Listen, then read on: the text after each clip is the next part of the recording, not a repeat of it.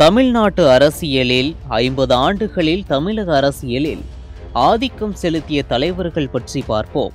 காமராஜர் மிக சாதாரண குடும்பத்தில் பிறந்து மாநிலத்தின் முதல்வராகி பிறகு பதவியை துறந்து பல அதிகார பதவிகள் தேடி வந்த போதும் அந்த அரியணைகளை ஏற்காமல் மற்றவர்களையும் அதில் அமர வைக்கும் அதிகாரம் மிக்கவராக கடந்த காலத்தில் வலம் வந்தவர். ஒருவர் வாழ்ந்தார் என்றால் அது காமராஜரை குறிப்பிடலாம். அவர் வாழ்காலத்திலேயே காங்கிரஸ் கட்சியில் காமராஜ் அணி ராஜாஜி அணி என இரு அணிகள் இயங்கும் அளவுக்கு தனக்கென தீவிர ஆதரவாளர்களை கொண்ட தலைவராக விளங்கினார். அண்ணாதுரை சமூக நீதி மாநில உரிமை மொழி உரிமை தொடர்பான சிந்தனையாளர். அந்த சிந்தனையை வெற்றிகரமாக அரசியல் படுத்தியவர் அப்படி அரசியல் படுத்துவதற்காக மேடை பத்திரிகை நாடகம் சினிமா நூல்கள் என்று எல்லா ஊடகங்களையும் கையில் எடுத்து அதற்கு புதிய தோற்றமும் கொடுத்து அதில் உள்ளடக்கம் தந்தவர் அண்ணா. காங்கிரஸ் அல்லாத கட்சி ஒன்றினை இந்தியாவில் முதலமைச்சரான இரண்டாவது தலைவர். தமிழ்நாட்டில் ஐம்பத்தி மூன்று ஆண்டுகால திராவிட கட்சிகளின் ஆட்சிக்கு அதன் மூலம் அடித்தளம் இட்ட வரும் இவரே.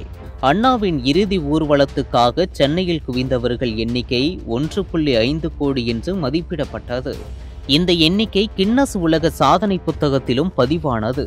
கருணாநிதி ஆட்சியை பிடித்த இரண்டே ஆண்டுகளில் ஆயிரத்தி தொள்ளாயிரத்து அறுபத்தி ஒன்றில் முதல்வர் அண்ணாதுரை மறைந்தவுடன் புதிய முதல்வராக பதவியேற்ற கருணாநிதி தமிழகத்தில் ஒரு புதிய அத்தியாயத்தை துவக்கினார். எழுத்தாளராகவும் பத்திரிகையாளராகவும் மற்றும் நாடகாசிரியர் என அவருடைய சாதனைகள் சுமார் இரண்டு லட்சத்திற்கும் மேற்பட்ட பக்கங்களுக்கு எழுதி குவித்திருக்கும் கருணாநிதி தனது தொண்டர்களுக்கு எழுதி வந்த உடன்பிறப்பே கடித தொடர் உலகின் மிக நீளமான தொடர்களில் ஒன்று. எம் ஜி ராமச்சந்திரன் திரையில் முதல் படத்தில் தனக்கு கிடைத்த புகழ் சாமானிய மக்களுடனான பிணைப்பை அதிகரிக்க வேண்டுமென விரும்பிய எம்ஜிஆர் திரை வாழ்க்கையுடன் சேர்த்து அரசியல் வாழ்க்கையையும் தேர்வு செய்தார். திரையில் எம்ஜிஆர் என்ன பேசினாலும் அது அர்த்தமுள்ளதாகவும் மக்களுக்கு செய்தி விடுக்கும் முழக்கமாகவும் பார்க்கப்பட்டது. தமிழ்நாட்டில் அதுவரை தேசிய அரசியலுக்கும் திராவிட அரசியலுக்கும் இடையே நிலவிய போட்டியில் திராவிட இயக்க அரசியலை தூக்கி பிடிக்கும் முகமாக எம்ஜிஆரை திராவிட கட்சிகளும் இயக்கங்களும் அங்கீகரித்தன.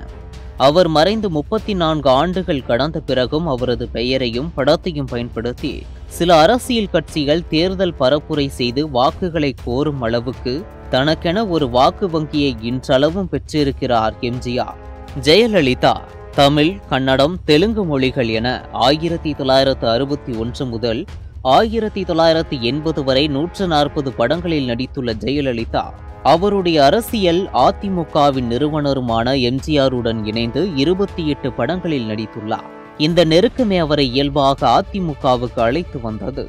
ஒரு நடிகையாகவும் அரசியல் தலைவராகவும் மிகவும் வெற்றிகரமான மனிதராக ஜெயலலிதா காட்சியளித்தாலும் அதற்கு பின்னால் வழிமிகுந்த வாழ்க்கை இருக்கிறது.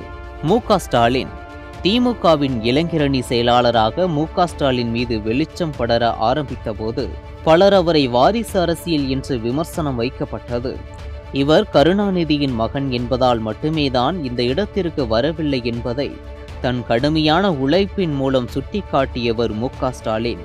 தனது தந்தை மீது வைக்கப்பட்ட வாரிசு அரசியல் குற்றச்சாட்டுகளை தற்போது மு க ஸ்டாலினும் எதிர்கொள்கிறார். இரண்டாயிரத்தி இருபத்தி ஒன்று தேர்தலின் முடிவுகள் மு க ஸ்டாலினின் அரசியல் எதிர்காலத்தை மட்டுமல்லாது திமுக என்ற மிகப்பெரிய கட்சியின் எதிர்காலத்தையும் தீர்மானிக்கும் தேர்தலாக அமையும். இரண்டாயிரத்தி இருபத்தி ஒன்று தேர்தலின் முடிவுகள் மு க ஸ்டாலினின் அரசியல் எதிர்காலத்தை மட்டுமல்லாது திமுக என்ற மிகப்பெரிய கட்சியின் எதிர்காலத்தையும் தீர்மானிக்கும் தேர்தலாக அமைந்தது.